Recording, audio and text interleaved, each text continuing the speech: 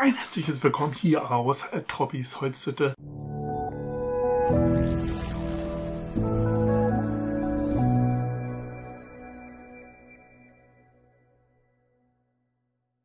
Ein herzliches Willkommen hier aus Troppis Holzhütte zu einem weiteren Projekt. Schaut mal, ich habe mir, oder ich habe für meine Tochter hier so einen Leuchttisch, ja, so eine Leuchtplatte gebaut.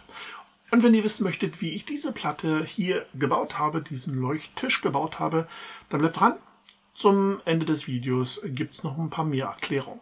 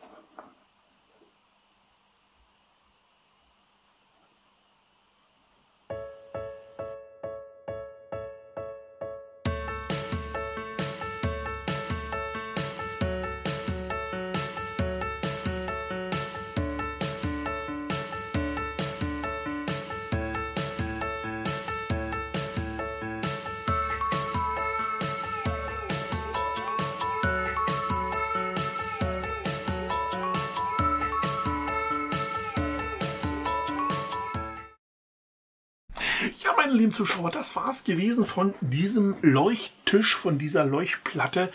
Ihr habt es ja gesehen, für was man das nutzt. Früher als Kinder, weiß ich noch, da haben wir direkt an den Fensterscheiben das immer so ein bisschen abgepaust.